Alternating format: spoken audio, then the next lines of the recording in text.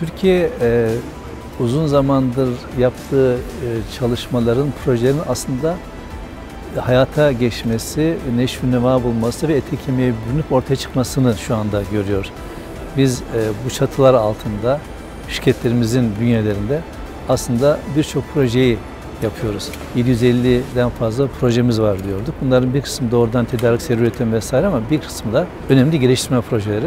İşte bu geliştirme projeleri neler olduğunu şimdi görüyoruz. 2023 hedef bizim için önemliydi. Cumhuriyetimizin 100. yılı. E, ekiplerimiz bu konuda e, çeşitli şirketlerimizde çalışmaları devam ettirdiler ve bu platformlar ortaya çıkmaya başladı. Bir günlük iş değil tabii dediğim gibi geçmişten beri gelen çalışmaların üst üste konmasıyla ortaya çıkan görünürlük kazanan ürünlerimiz oluyor. Tabii bu ürünlerimizin görünürlük kazanması aşaması hemen bugün kullanılacak anlamına gelmiyor. Onların olgunlaşma süreci olacak. Dünyada havacılık alanında bizim yaptığımız işlerin benzerini yapan kaç ülke var diye saydığımızda herhalde artık biz ilk onda e, sayılacağız diyebiliriz.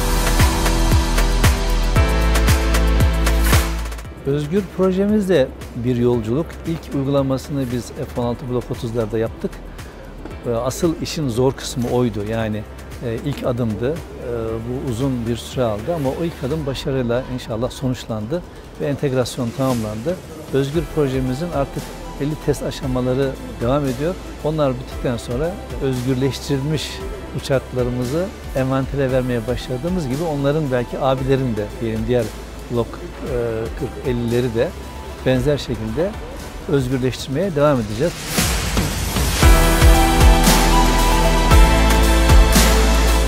Şu anda durağan gördüğünüz herhangi bir alanda şunu bilin ki mutlaka orada çok yoğun çalışmalar vardır. Füzelerimiz e, ve hava savunma sistemlerimiz konusunda da şu anda devam eden çalışmaların ürünleşmiş halini önümüzdeki günlerde göreceksiniz. Bizi izlemeye devam edin diyoruz aşağıdan. Her zaman için bizden müjde beklemeye hazırlıklı olun.